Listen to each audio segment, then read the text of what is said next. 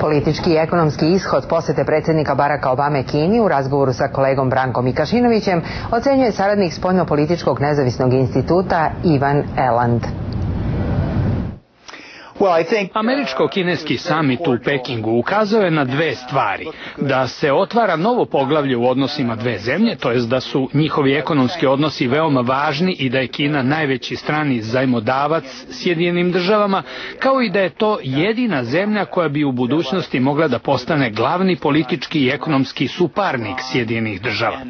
Mada je poseta predsjednika Obame Kini s polja gledano bila uspešna. Ona je ukazala na u suštini oslabljenu i kompromisnu američku poziciju, jer je Peking dobio više od te posete nego Washington u svetlu Obamine podrške brojnim kineskim stavovima. U pogledu recimo ljudskih prava, ekonomije i Irana, Kinezi su ostali dosledni svojim gledištima.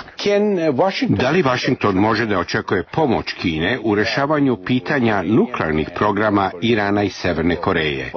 Mislim da će Peking biti od veće pomoći u pogledu severnokorejskog nuklearnog programa, pošto je reč o susednoj zemlji na koju Peking ima znatan uticaj. Što se tiče Irana, ta zemlja ne predstavlja opasnost za Kinu, plus ona je jedna od glavnih snabdevača Kine naftom, dok pitanje međunarodnog terorizma ne zauzima tako važno mesto u odnosu na Iran. Kina, između ostalog, nije podržala predlog američke administracije da se zavedu dodatne sankcije Teheranu i o tome se nije izjasnila ni tokom Obamine posete. Da li je predsjednik Obama uspostavio lične odnose sa kineskim liderima i kako sagledavate dugoročni razvoj događaja između Sjedinjenih država i Kine? Dobri lični odnosi su uvek veoma važni, posebno u vreme kriznih situacija, kao što je to bilo ranije u Bushovoj administraciji u pogledu Rusije i napetih odnosa sa nekim evropskim zemljama u vezi sa Irakom.